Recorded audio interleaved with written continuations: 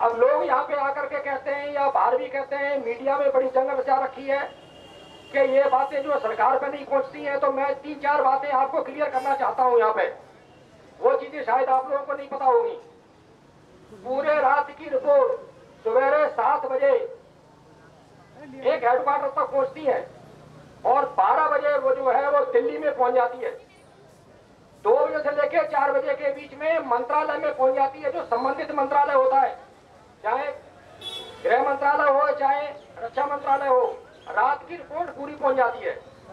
तो क्या तेज बहादुर की रिपोर्ट जो है, वो मंत्रालय में नहीं गई? बिल्कुल मंत्रालय में गई और उसी वक्त गई। उसके बाद में नेक्स्ट डे वो रिपोर्ट पूरी कंपाइल करके पीओ में जाती है प्राइम मिनिस्टर ऑफ़िस में। तो प्राइम मिनिस्टर पीओ ऑफ़िस में गई, दूसरे दिन तो प्रधानमंत्री के सामने भी पहुँची। कहने का मतलब है, सबको मालूम है सरकार को सबको मालूम है कि ये कहानी बनी है। ये भ्रष्टाचार के खिलाफ इसने आवाज़ उठाई है। इसका साथ देना चाहिए था। जिसके बदले में इसे डिसमिस फ्रॉम सर्विस कर दिया गया।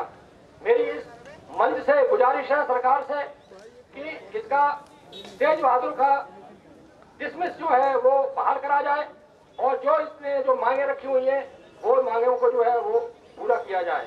आप लोगों का सहयोग है कि आज का जमाना है डेमोक्रेसी का जमाना है। आज सहयोग का जमाना है। जब तक आप सबका सहयोग इकट्ठा नहीं रहेगा, तब तक ये लड़ाई नहीं लड़ी जा सकती है। मैं बस आपसे लास्ट में यही अनुरोध करता हूँ कि इस लड़ाई को आगे जाने के लिए आप लोगों का साथ चाहिएगा और ये बहुत अच्छा कदम उठाया है भ्रष्टाचार को मुक्त करने के लिए। आप लोगों का सबका सहयोग इसमें वांछित है। जय हिंद।